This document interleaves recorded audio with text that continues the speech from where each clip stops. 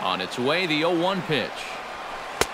Mm, got him out on his front foot. It's 0-2. 0-2, you got to shorten up. Find some way at least to put the ball in play.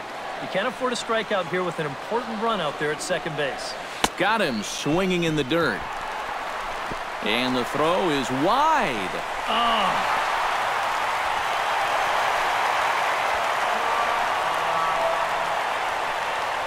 So they'll slap an error on the catcher there, and you can tell he's not happy back there. Devon Travis stands in. He's 0 for 1 after grounding out.